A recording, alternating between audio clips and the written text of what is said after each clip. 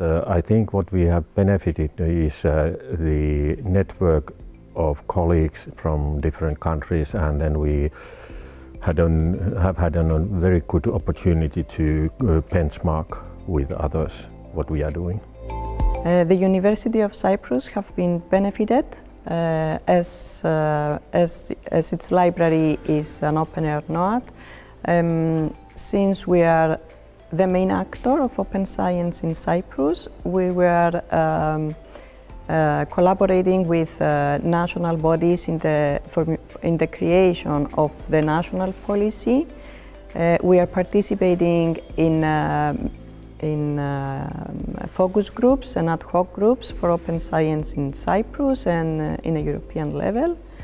Uh, this created the national policy of Cyprus in 2016 and in 2022 the revision of the national policy uh, for open science in Cyprus. The benefit to participate in OpenAIRE is the alliance that we have in Spain, so we can, um, so they support us to, so we can support our national community and to facilitate our, our participation in the different um, Horizon Europe call, so we can be there and be the strategic partner. Um, and also we um, in the belong international community, so they can help to us to, to, to in the different guidelines and different projects that we have to be as national contact point. It has allowed me to really uh, uh, engage with a network of international partners. Uh, and currently my position within JISC is to collaborate the international work within JISC, so making sure all the different efforts within JISC are talking to one another. And that really has come about because of my engagement, first and foremost, with OpenAIRE. So um, the University of Malta is the main institution, um, uh, educational institution on the, on the Maltese Islands. Um, we are leading open science um, on the Maltese Islands way back in 2014. We've set up our institutional um, repository. It was the first institutional repository um, in Malta, which serves also as a national repository. Um, immediately after that, we have also implemented um, an open access policy for our um, university. And all this was done basically with the support and um, expertise of OpenAIRE.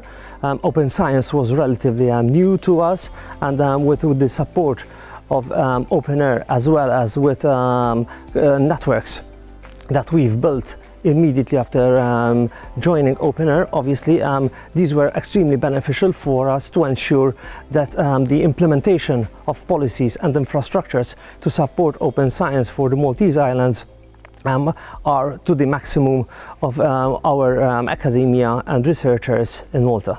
Uh, OpenAIRE is helping us uh, with our activities by giving our, us guidelines, materials, and uh, uh, by just having someone to talk about certain things and to see how other countries did the same thing that we, we are trying to do. Okay, the University of uh, Minho is member of OpenAIRE since the beginning, uh, so basically we work a lot around the support and training, but we also act as a national open access desk, trying to do the connection between the national open science initiatives, the, the national infrastructure on uh, scholarly communication, and the OpenAIRE, and then work in several projects on uh, support, uh, open science help desk and uh, open science and RDM training.